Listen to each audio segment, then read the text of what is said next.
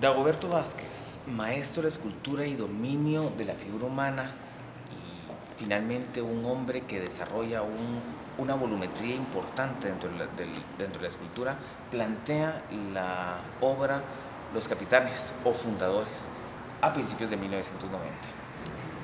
El museo tiene el yeso que sirvió como modelo para el, molde que posteriormente se utilizará para la fundición. Plantea en esta escultura dos elementos importantes. La parte de fundadores, la parte de la presencia del hombre lugareño, la parte del, del hombre guatemalteco, fundando su ciudad, fundando su espacio con los cuatro puntos cardinales.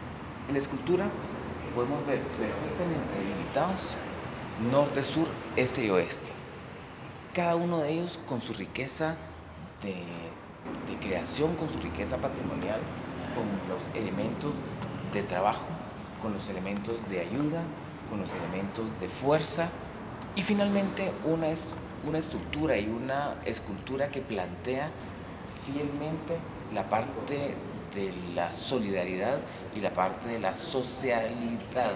Es la, el, el reglón y el, la parte social de la escultura son elementos que Dagoberto o conocido por, todos sus amigos, eh, presenta en todas sus obras.